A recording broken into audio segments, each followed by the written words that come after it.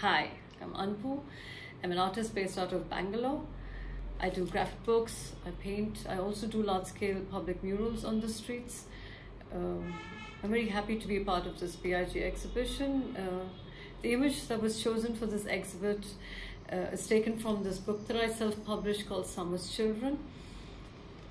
It follows the tale of two kids as they're seen uh, running through a plantation in South India. It's a deeply personal book because it's based on my childhood memory of my brother and me. Uh, we grew up in a plantation, and the various activities that we did during our time has been uh, transcribed in this book in some way. Uh, the scene uh, fishing, uh, running around, playing in the rain. It's a, it's a silent book uh, with hints of sound. I was very keen on breaching a language barrier so that the book could be accessible to more people. Um, I hope you get a chance to read this book uh, and thank you.